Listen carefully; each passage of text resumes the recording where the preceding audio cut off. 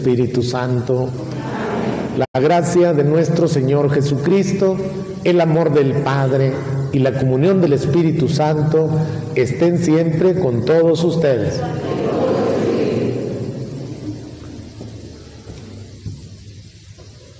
Hoy es la fiesta de la manifestación de la Epifanía de Dios hecho hombre a aquellos sabios venidos de Oriente. Lo verdaderamente importante es que Dios se les da a conocer y se nos da a conocer a todas las personas, de todo tiempo, raza y cultura, hasta llegar a nosotros.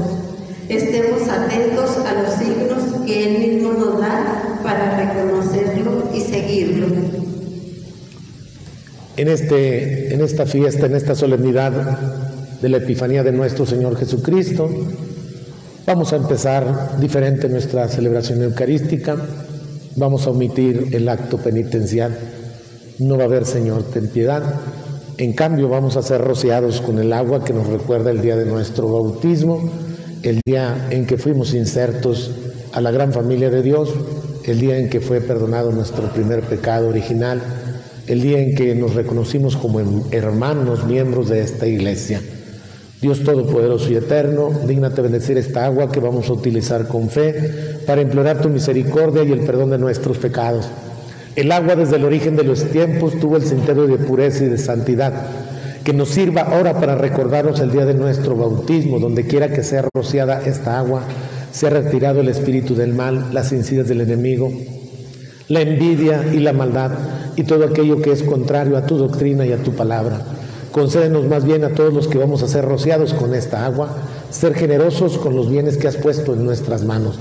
Por Jesucristo nuestro Señor, en nombre del Padre, del Hijo y del Espíritu Santo. Amén.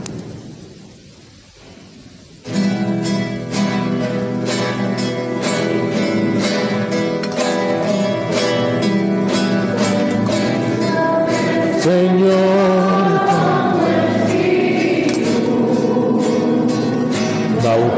bautízame, Señor, con tu Espíritu.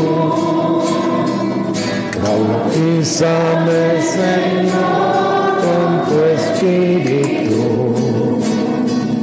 Bautízame, bautízame.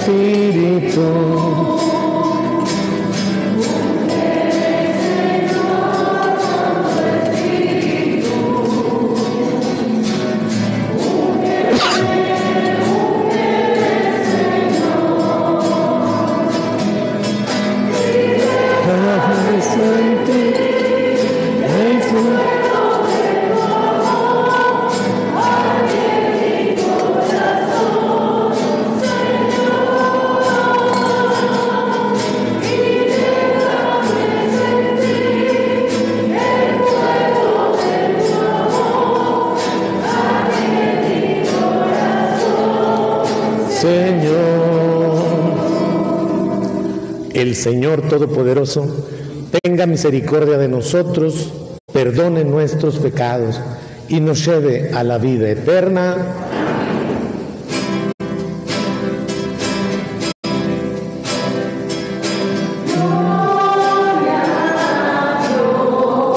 En las alturas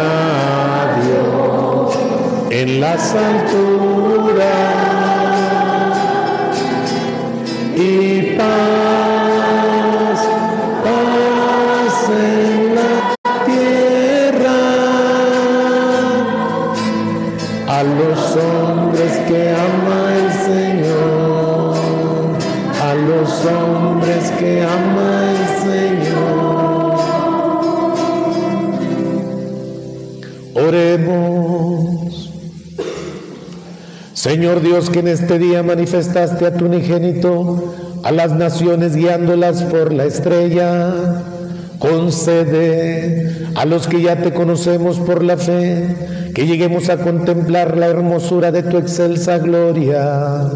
Por nuestro Señor Jesucristo, tu Hijo, que contigo vive y reina en la unidad del Espíritu Santo y es Dios por los siglos de los siglos. Vamos a escuchar la palabra. En la primera lectura, el profeta, lleno de entusiasmo, anuncia a los israelitas que vuelven del exilio de Babilonia, un futuro luminoso, el cual vemos realizado en Jesús, luz y camino para toda la humanidad.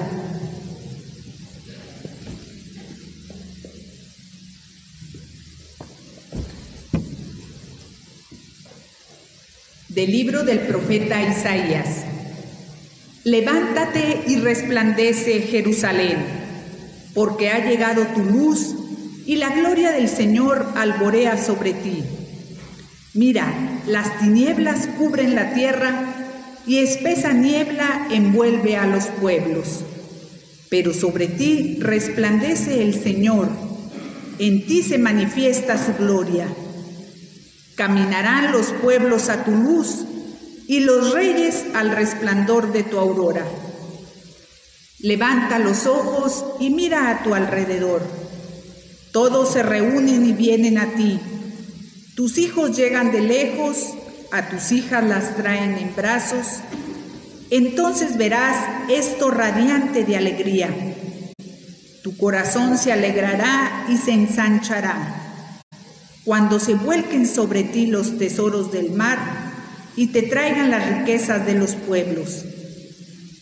Te inundará una multitud de camellos y dromedarios procedentes de Madián y de Efá. Vendrán todos los de Sabá trayendo incienso y oro y proclamando las alabanzas del Señor. Palabra de Dios. Que te adoren, Señor, todos los pueblos. Comunica, Señor, al Rey tu juicio y tu justicia al que es hijo de reyes. Así tu siervo saldrá en defensa de tus pobres y regirá a tu pueblo justamente.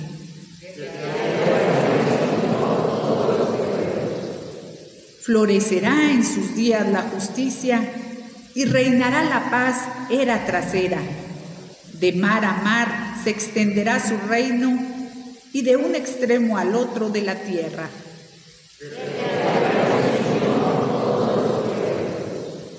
Los reyes de Occidente y de las islas le ofrecerán sus dones.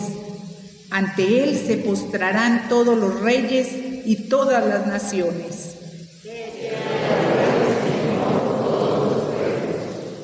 Al débil librará del poderoso y ayudará al que se encuentra sin amparo se apiadará del desvalido y pobre y salvará la vida al desdichado.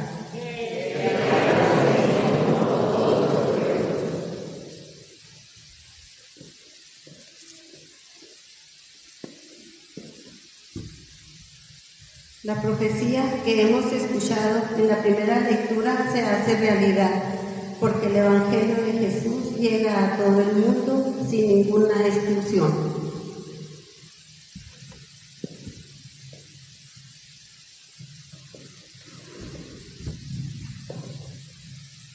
de la carta del apóstol San Pablo a los Efesios.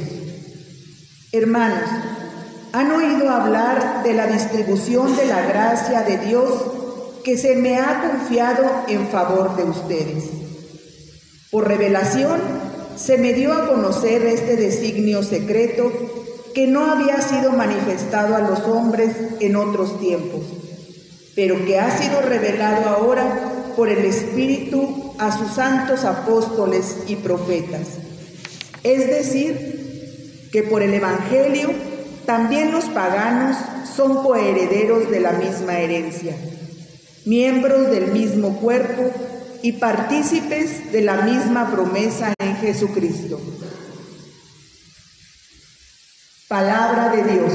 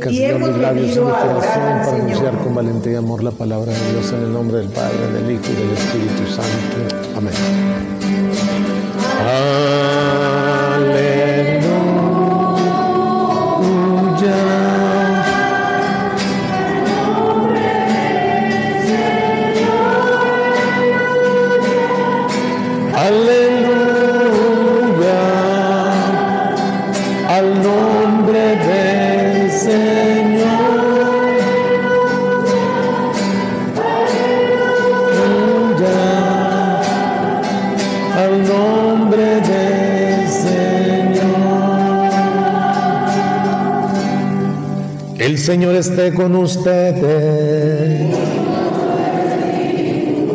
Del Santo Evangelio según San Mateo.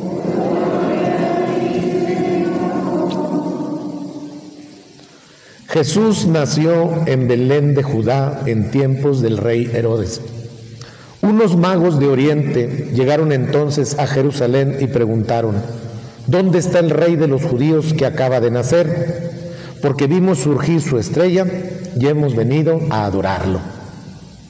Al enterarse de esto, el rey Herodes se sobresaltó y toda Jerusalén con él Convocó entonces a los sumos sacerdotes y a los escribas del pueblo y les preguntó, ¿dónde tenía que nacer el Mesías?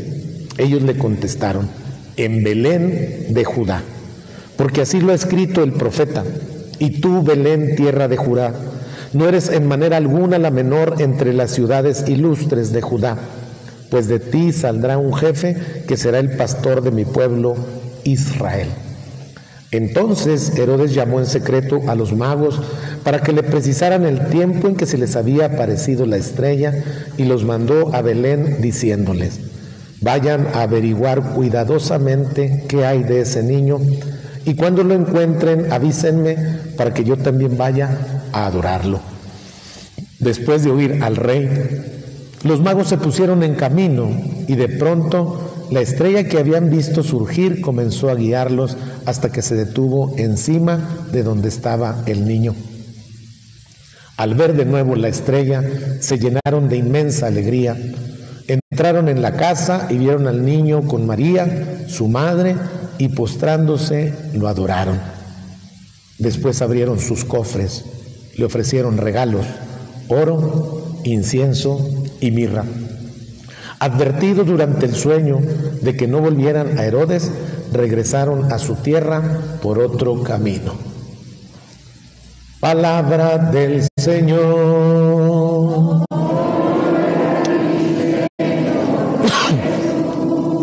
Nos sentamos un momentito.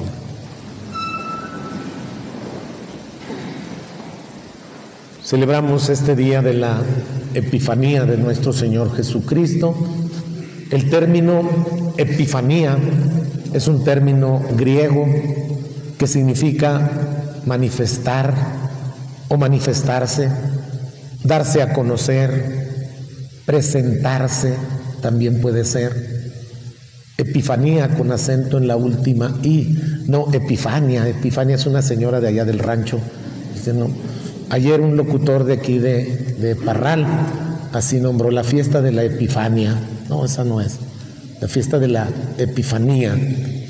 Durante todo el año litúrgico, que primeramente Dios vamos a comenzar mañana con la solemnidad del bautismo de nuestro Señor Jesucristo, es decir, el próximo domingo ya estaremos celebrando el segundo domingo del tiempo ordinario. Durante todo el ciclo litúrgico hay muchas epifanías, hay muchas manifestaciones de nuestro Señor Jesucristo. Eso es una epifanía.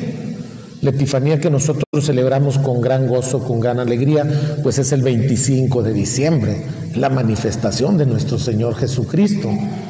La Virgen María nos da luz al Salvador del mundo y esa es la primera manifestación sobre la tierra de Jesucristo. Tal vez esta es la segunda, la presentación de nuestro Señor Jesucristo a los reyes venidos de Oriente, pero también cuando se presenta entre los pastores que cuidan el rebaño y van a verlo por el anuncio del ángel, también es una manifestación, es una epifanía. Mañana que celebremos el bautismo de nuestro Señor Jesucristo será una gran epifanía.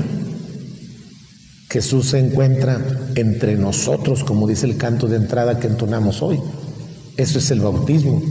Jesús está entre nosotros. Jesús es Dios con nosotros. O como dicen algunos teólogos de la liberación, Dios uno de nosotros. Ni siquiera con nosotros o junto a nosotros, no.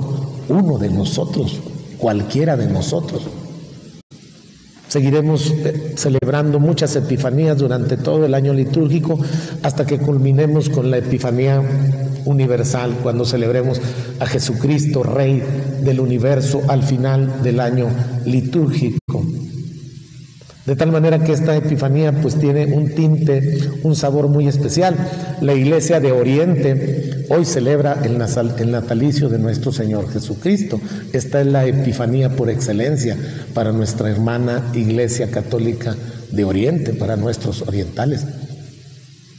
Hoy vemos a unos reyes venidos de Oriente. No dice que son tres, en ninguna parte de la escritura habla de tres reyes magos. Esos los inventamos nosotros. O tal vez nos dejamos guiar porque hay tres regalos que le presentan al niño, ¿no? Oro, incienso y mirra. Pero en las fiestas a poco todos llevan regalos.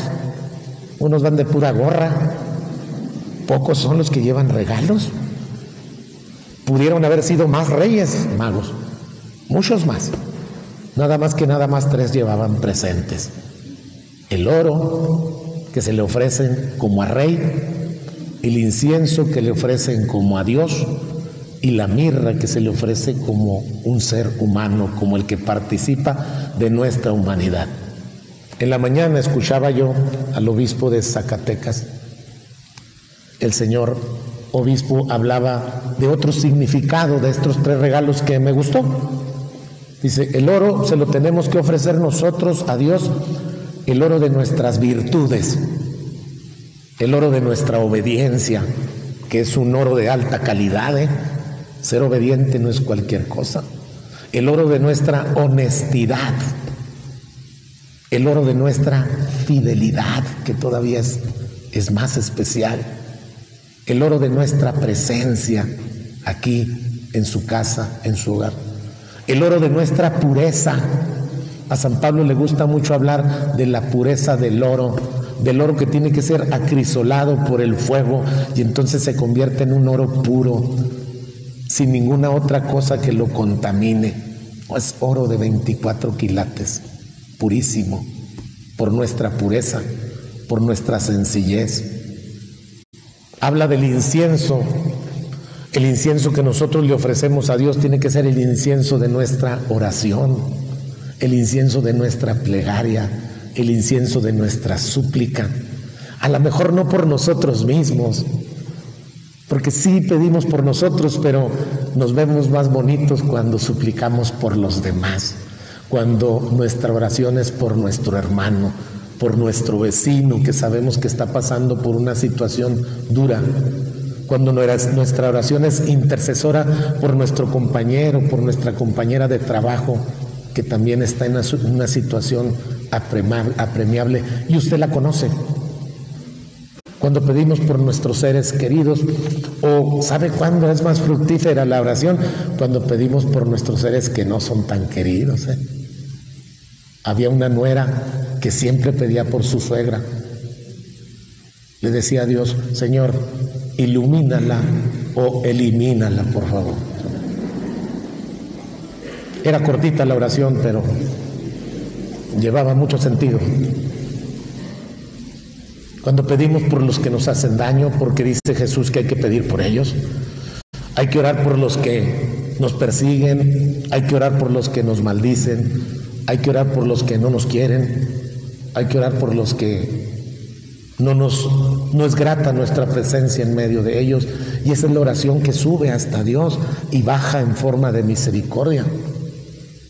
Cuando el sacerdote utiliza el incienso allí en el altar y hace unas cruces en medio de la ofrenda y luego hace una rueda a la derecha, otra a la derecha y culmina con una rueda a la izquierda, en secreto está diciendo una oración en latín que dice Incensum istud a te benedictus, ascenda te domine et decenda super nos misericordia tua traducida al español significa, este incienso, Señor, por ti bendecido, suba hasta ti como sube nuestra oración y descienda sobre nosotros tu misericordia.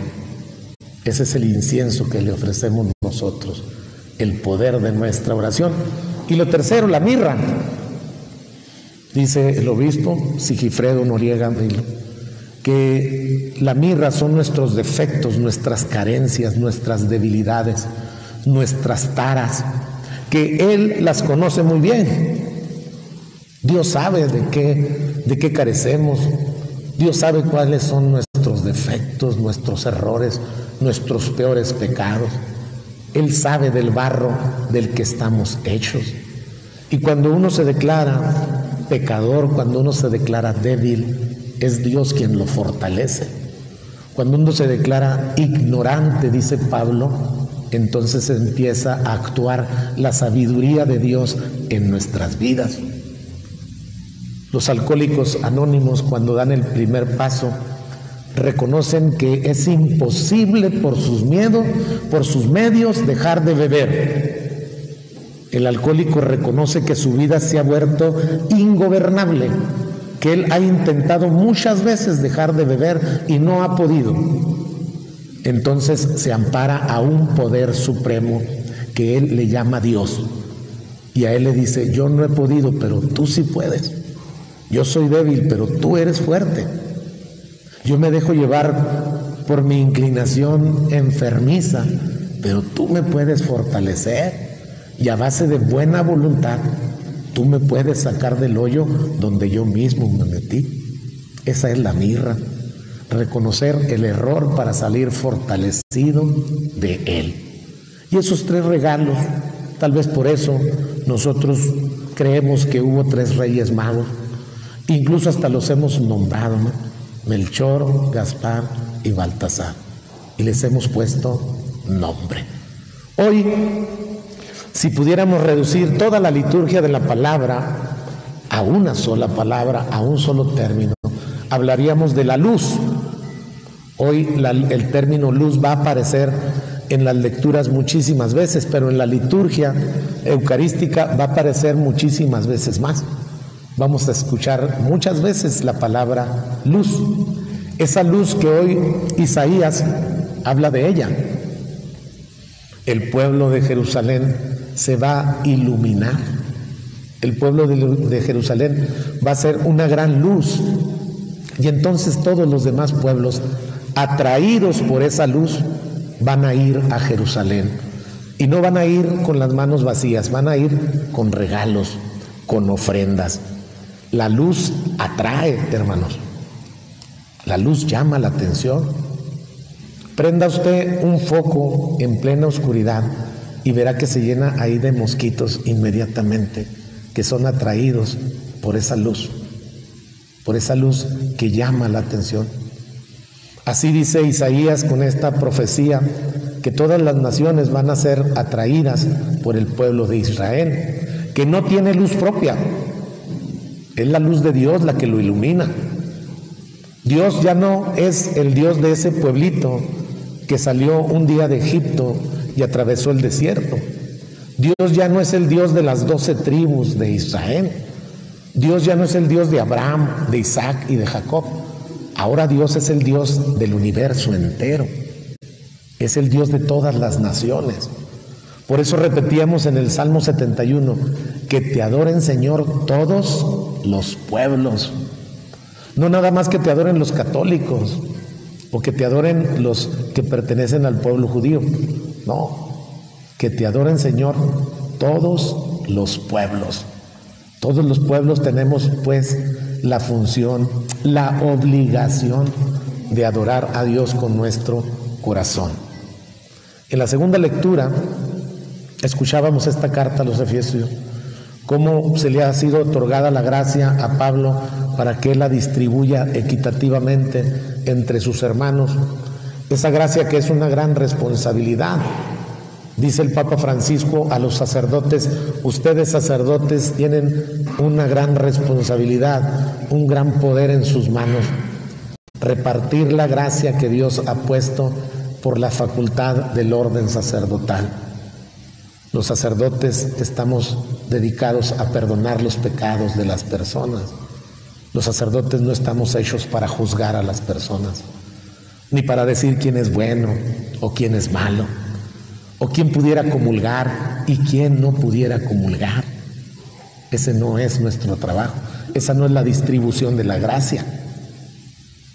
Anita, la que me ayuda aquí en mi casa, discutió con su esposo, que se llama Alonso. Le falta una pierna a Alonso. No se puede él mover por sí mismo, lo tiene que mover Anita. Y discutió con él y le dijo, Alonso, tú ya no puedes comulgar. Y ya no pudo, pues ya no lo llevó ella. Cuando me platicó eso, le dije, imagínese que usted fuera la distribuidora de la gracia, que usted distribuyera la gracia entre sus hermanos. Pobre Alonso, no es que me hizo enojar mucho y ahí le puse el freno a la silla, ya no se pudo mover. Pues no, ya no comulgó. ¿Quién tiene el poder de hacer eso? ¿Cómo les dijo Jesús a aquellos fariseos que le llevaron a la adúltera encontrada en flagrante adulterio? ¿Cómo les dijo? El que esté libre de pecado, que tire la primera piedra. Inmediatamente Anita se lavó las manos. No, yo no. ¿Cómo distribuimos la gracia? ¿Qué es la gracia? La gracia es la presencia de nuestro Señor Jesucristo en medio de nosotros. La gracia es para alegrarnos el corazón. Gracia viene de gracioso. Gracia viene de gratis. Gracia viene de agraciado. De ahí viene gracia. Entonces la gracia tiene que ser un fomento para curar las heridas. Gracia tiene que ser un abrazo apretado de felicidad para que borre toda la tristeza que hay en nuestro pasado, en nuestra memoria. Gracia tiene que ser la compañía en los momentos de soledad o cuando nos sentimos tristes, abatidos. Ahí tiene que aparecer la gracia. La gracia tiene que ser el encuentro con Cristo. La gracia tiene que ser siempre un momento de alegría, de felicidad. La gracia no puede ser un tormento. La gracia no puede ser un, señalar a las personas. No sé si ustedes hayan visto Misa a la medianoche, una serie que hay allí en, Netflix. Al final de, de, la serie, en el último capítulo, está una señora. No sé por qué siempre meten a señoras así señalando hubieran puesto un señor, pero no, se puso una señora, que es como la sacristana de, ahí de la parroquia del templo. Y entonces esas señoras están reunidos y empieza a condenar a la gente. Usted, el de la fila de allá, usted nunca venía a misa, sálgase por favor, usted sálgase, no, no tiene derecho a estar aquí. Y usted tampoco, usted va al infierno, se va a condenar. Y así, con la mano en la cintura, señala gente. Qué bueno que no viene aquí esa señora, si no nos mandaba a todos al infierno, ¿no? Empezando por mí. La gracia tiene que hablarnos siempre de la bondad de Dios sobre su pueblo. El mundo protestante está muy alejado de la gracia. El mundo protestante siempre está hablando del pecado, de la condenación. El mundo protestante siempre está hablando del pecado que cometieron nuestros primeros padres, para ellos la naturaleza humana no quedó quebrantada, quedó eliminada. No servimos para nada. Y no, eso no es así. Nosotros somos producto del amor de Dios. Y el amor no puede producir algo defectuoso, el amor produce perfección somos atraídos por Dios, así como Isaías profetiza que el pueblo de Israel va a atraer a todos los demás pueblos hacia Él, así también nuestro Señor Jesucristo nos va a atraer a todos hacia su presencia. Fíjese el nacimiento de nuestro Señor Jesucristo, cómo es capaz de atraer a estos magos venidos de Oriente, cómo desde tan lejos recibieron la señal maravillosa seguramente una revelación especial en donde se les anuncia que el rey de Jerusalén ha nacido. Y ellos confundidos, pues ¿dónde tiene que nacer un rey? Pues en el palacio del rey. Ahí tiene que nacer. Por eso van con Herodes directamente. ¿Dónde está el rey de los judíos que acaba de nacer? Hemos visto surgir su estrella. Y si es un rey, pues tiene que nacer en este palacio. Pero el rey se queda confundido, el rey Herodes. Y no nada más él, todo el pueblo se confunde. Sienten miedo, sienten pánico, terror, porque en un reinado no puede haber dos reyes. En un reinado tiene que haber un solo rey. Si alguien más se erige como rey, tiene que pelear con el otro rey para que uno de los dos sea eliminado y entonces exista un solo rey. Ese es el temor que tiene Herodes. Ese es el temor que los saca mandando matar a todos los niños menores de dos años para que el nuevo rey no reine sobre Jerusalén. Pero son guiados nuevamente por la estrella. Seguramente si la estrella hablara les diría, ese no es el rey y ese no es el lugar donde van a ser el rey. Los guía hasta este pesebre donde es iluminado por Jesucristo, que es la luz, que ilumina también a estos reyes, a estos tres reyes magos. La luz tiene que ver mucho con la sabiduría, hermanos, con el conocimiento. Cuando uno se llena de conocimiento, se ilumina su mente, su cabecita, se llena de luz. No sé usted si haya tenido en su vida un momento en que se le hayan abierto los ojos así, de luz, un momento especial en que su vida cobró sentido.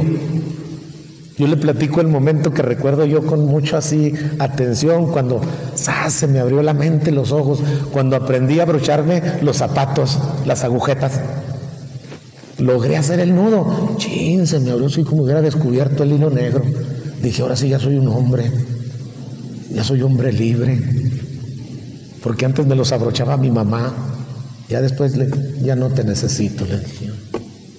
No sé ustedes cuándo. Le pregunté yo una vez a mi hermana y me dijo que ella había descubierto eso cuando aprendió a leer el reloj de manecillas. Cuando entendí yo la una y cuarto, nomás quería que me andaran preguntando la hora. ¿Qué hora son? La una y cuarto, la una y media. Esa es la luz que nos llena el cerebro, la cabeza, la inteligencia. Así se iluminaron los reyes. Pero no terminó allí la experiencia.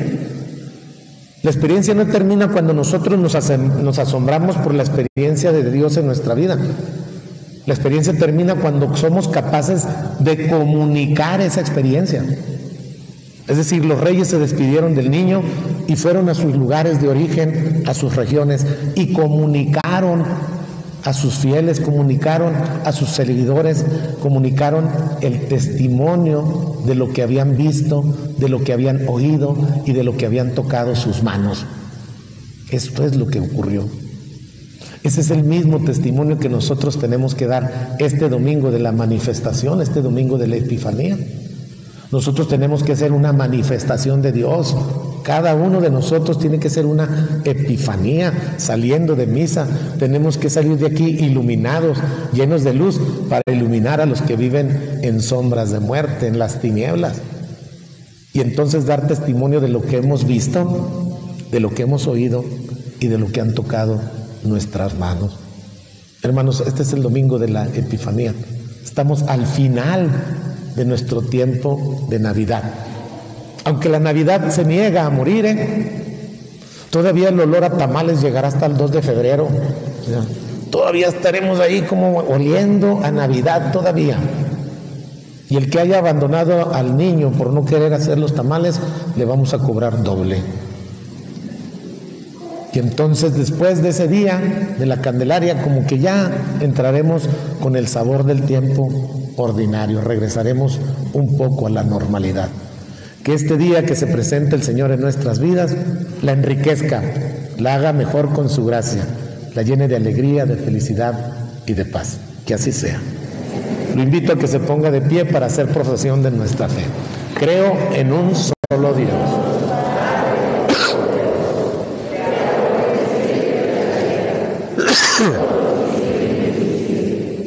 Creo en un solo Señor Jesucristo, Hijo único de Dios, nacido del Padre antes de todos los siglos, Dios de Dios, luz de luz, Dios verdadero de Dios verdadero, no creado, de la misma naturaleza del Padre, por quien todo fue hecho, que por nosotros los hombres, por nuestra salvación, bajó del cielo y por obra del Espíritu Santo se encarnó de María la Virgen y se hizo hombre. Y por nuestra causa fue crucificado en tiempos de Poncio Pilato. Padeció y fue sepultado y resucitó al tercer día según las escrituras y subió al cielo y está sentado a la derecha del Padre. Y de nuevo vendrá con gloria y su reino no tendrá. Espíritu Santo, Señor y dador de vida, que procede del Padre y del Hijo, que con el Padre y el Hijo recibe una misma adoración y gloria y que habló por los profetas. Creo en la Iglesia que es una, santa, católica y apostólica. Confieso que hay un solo bautismo para el perdón de los pecados. Espero la resurrección de los muertos y la vida del mundo futuro. Amén. Presentemos nuestras oraciones al Señor en este día santo en que Dios ha manifestado su poder a las naciones, la salvación a los pueblos y a nosotros la luz radiante de su gloria. Después de cada petición diremos, Jesús, Hijo de Dios, escúchanos.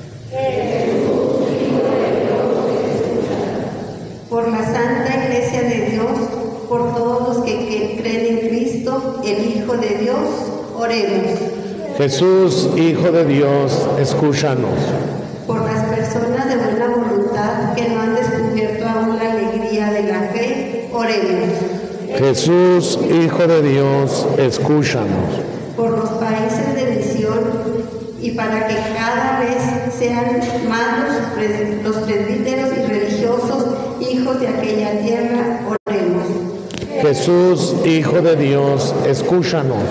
Por los niños y las niñas que hoy viven esta fiesta llenos de alegría y por aquellos que sufren la pobreza o el abandono, oremos. Jesús, Hijo de Dios, escúchanos. Por las enfermeras y por las personas a quienes atienden, oremos.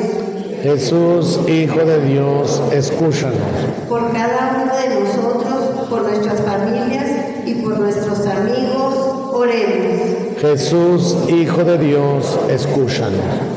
Escucha, Señor, nuestras oraciones y concédenos vivir siempre como hijos de la luz esforzándonos para que Cristo ilumine con su luz a todos los pueblos de la tierra.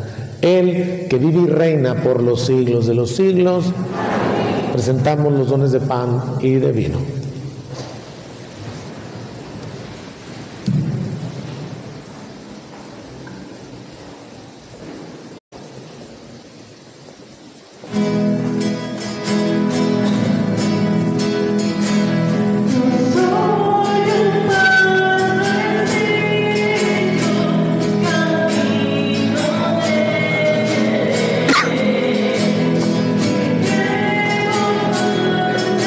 Sea, Señor Dios del universo, por este pan, fruto de la tierra del trabajo del hombre, que recibimos de tu generosidad y ahora te presentamos. Él será para nosotros pan de vida. Bendito seas por siempre, Señor.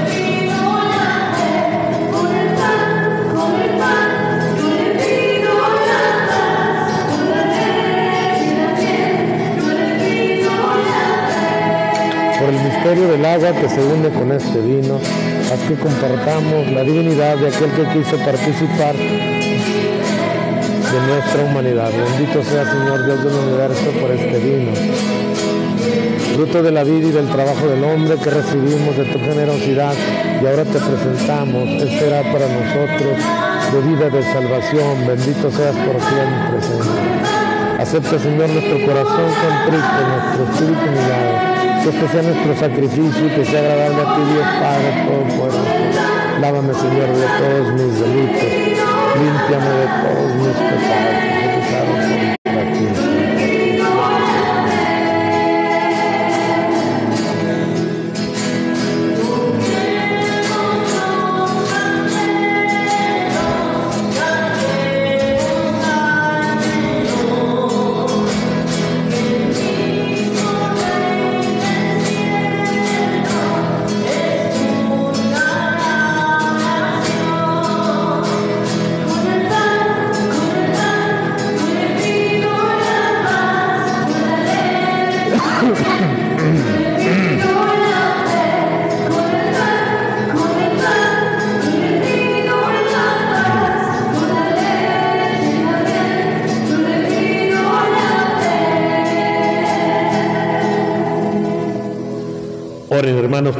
sacrificio que es mío y también es de ustedes sea agradable a Dios Padre Todopoderoso.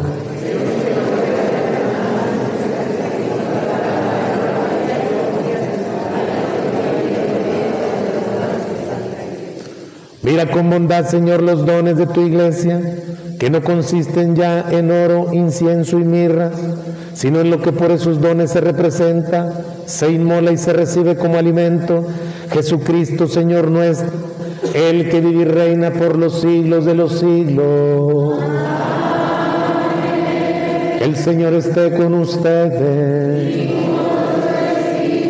Levantemos el corazón.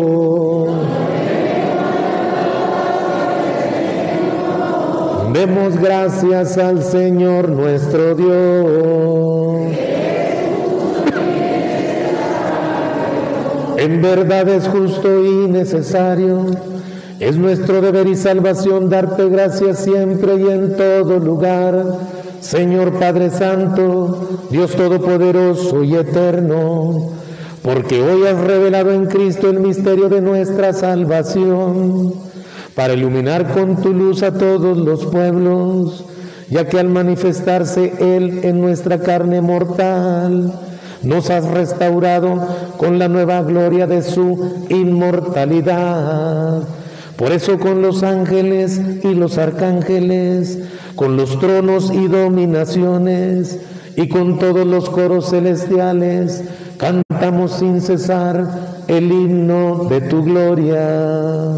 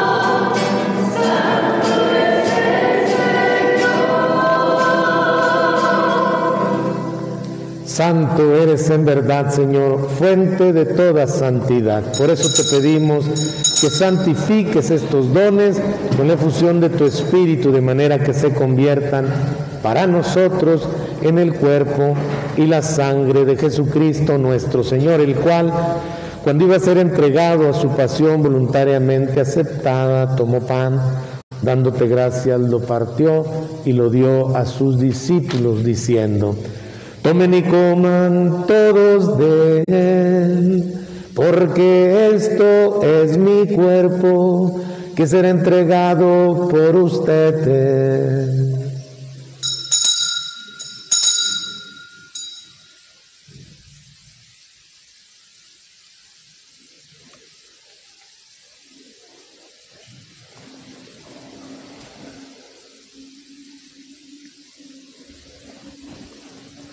Del mismo modo, acabada la cena, tomó el cáliz y dándote gracias de nuevo, lo pasó a sus discípulos diciendo, tomen y beban de él, porque este es el cáliz de mi sangre, sangre de la alianza nueva y eterna, que será derramada por ustedes y por muchos para el perdón de los pecados.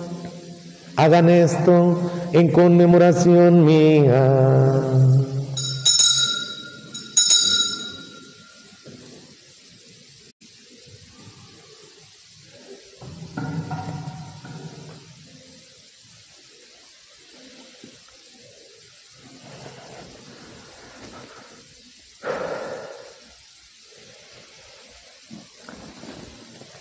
Este es el sacramento de nuestra fe. Anunciamos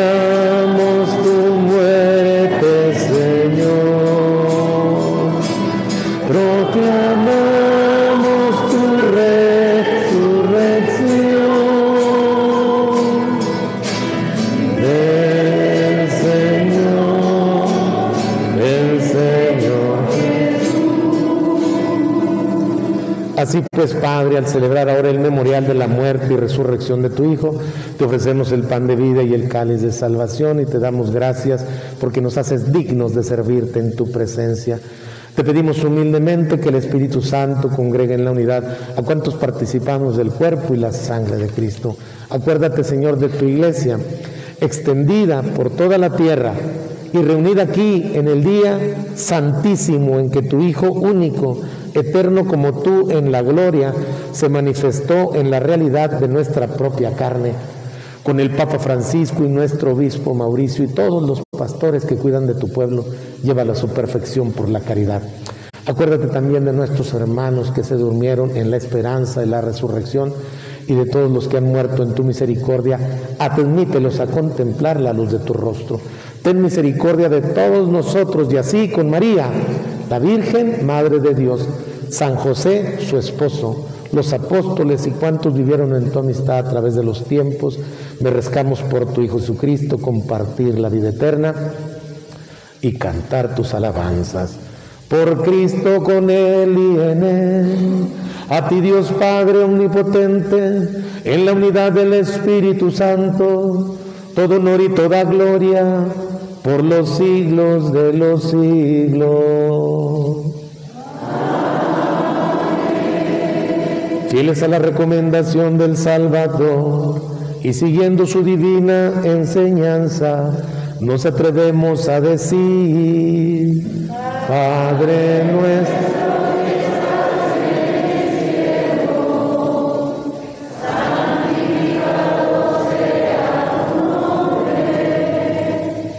Venga a nosotros tu reino,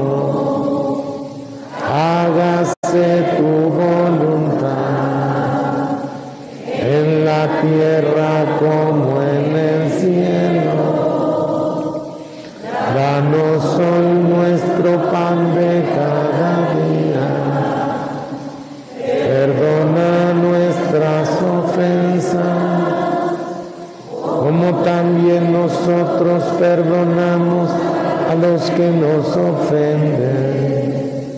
No nos dejes caer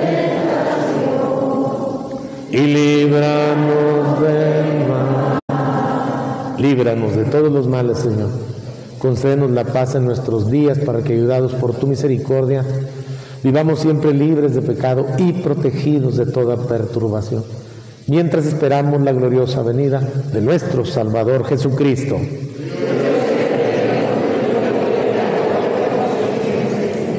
Señor Jesucristo, que dijiste a tus apóstoles, la paz les dejo, mi paz les doy, no tengas en cuenta nuestros pecados, sino la fe de tu iglesia. Conforme a tu palabra, concede la paz y la unidad. Tú que vives y reinas por los siglos de los siglos, la paz del Señor esté siempre con ustedes.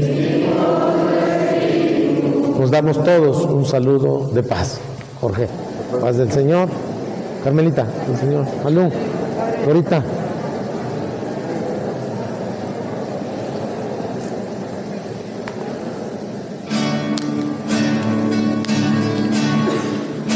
¿Me ayuda a dar la comunión,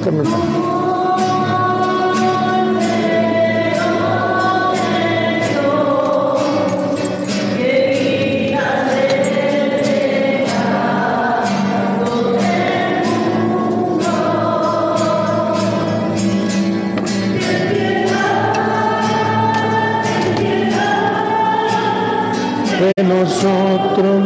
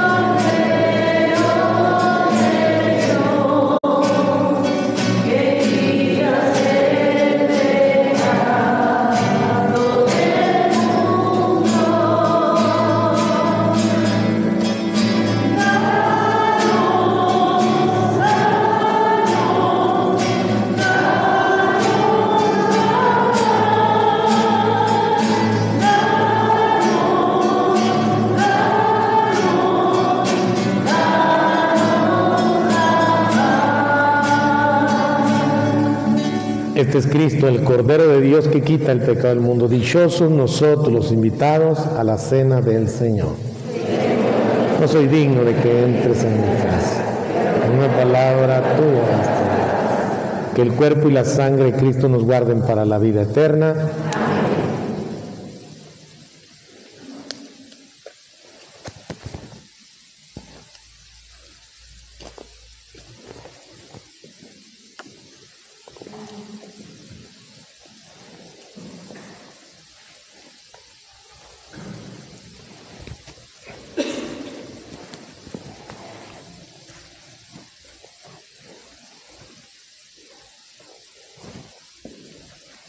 Cuerpo de Cristo también. Ah, no.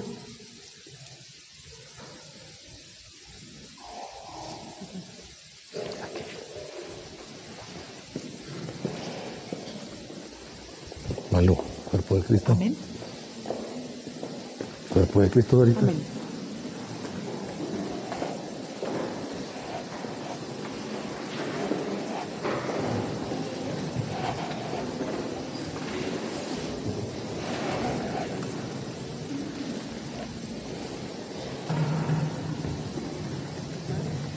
Cuerpo de Cristo, Madre. Amén.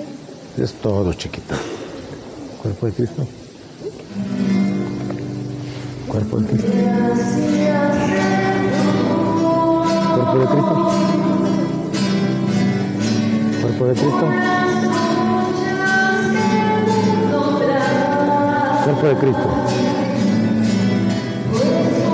Cuerpo de Cristo. Cuerpo de Cristo. Cuerpo de Cristo. Cuerpo de Cristo. Cuerpo de Cristo. Cuerpo de Cristo. Cuerpo de Cristo. Cuerpo de Cristo. Cuerpo de Cristo. Cuerpo de Cristo. Cuerpo de Cristo.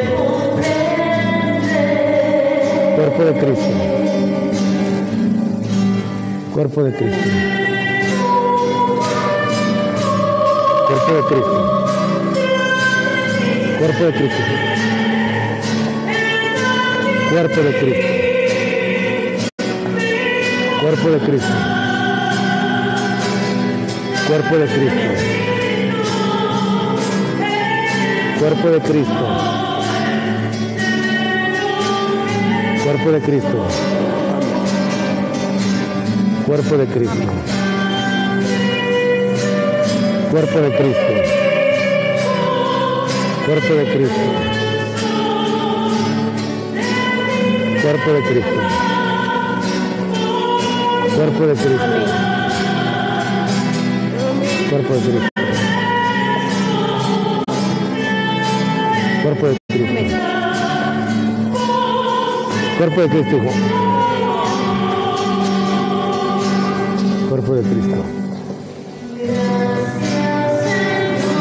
Cuerpo de Cristo. Cuerpo de Cristo. Cuerpo de Cristo.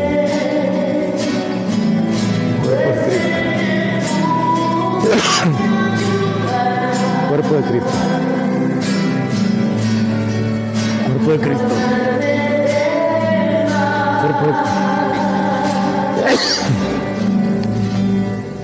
Cuerpo de Cristo.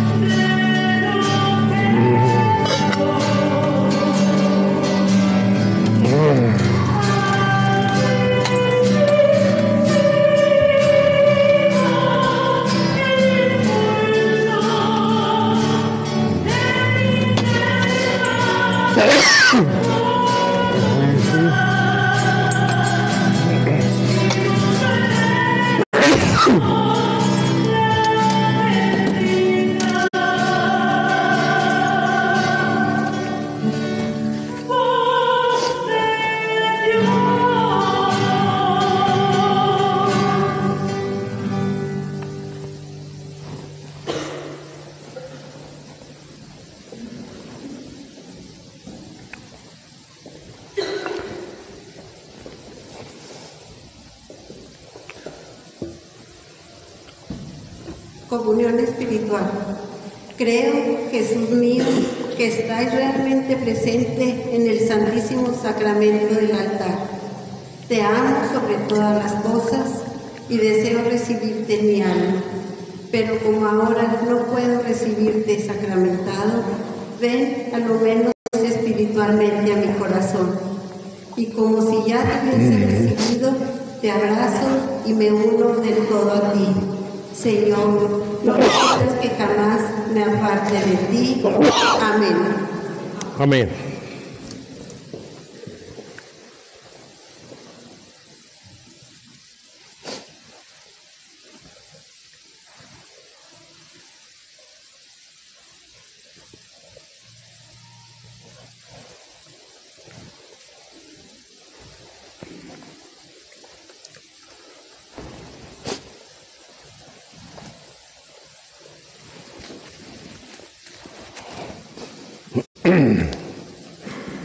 Ángeles y serafines, ayudadme a bendecir.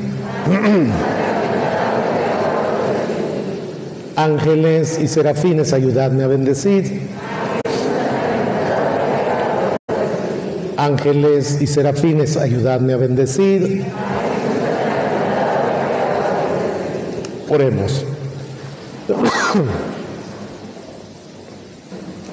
Te pedimos, Señor, que tu luz celestial siempre y en todas partes vaya guiándonos para que complementemos con nuestros ojos puros y recibamos con amor sincero el misterio del que quisiste hacernos partícipes. Por Jesucristo, nuestro Señor, inclinamos la cabeza para recibir la bendición. Que el Señor esté con ustedes.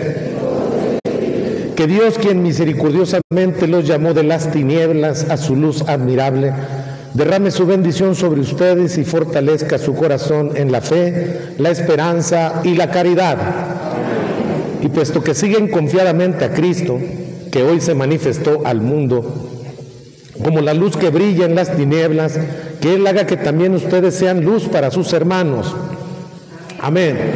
Para que así cuando termine su peregrinación terrena se encuentren con Cristo, el Señor luz de luz a quien los magos buscaron guiados por la estrella y llenos de gozo lograron encontrar la bendición de Dios Todopoderoso. Padre, Hijo y Espíritu Santo descienda sobre ustedes, permanezca para siempre. Afuera les van a estar ofreciendo los cirios, el cirio para que lo prenda usted durante el día, mientras reza un Padre nuestro, un Dios te salve, un gloria al Padre, y pone en las manos de Dios sus necesidades, la salud de sus enfermos y el eterno descanso de sus fieles difuntos. Le van a ofrecer también la revista del mes de enero y el calendario del 2023 de la Casa María Magdalena. Nos ponemos en las manos de Nuestra Señora del Rayo y le pedimos que nos acompañe en esta tardecita. Dulce Madre, no te alejes, vista de nosotros no apaga. Ven con nosotros a todas partes y solos nunca nos dejes ya que nos proteges tanto como verdadera madre, cúbrenos con tu manto y haz que nos bendiga el Padre, el Hijo y el Espíritu Santo. Que la alegría del Señor sea nuestra fuerza, nos podemos ir en paz. Que pasen una preciosa, una linda tardecita de domingo ya.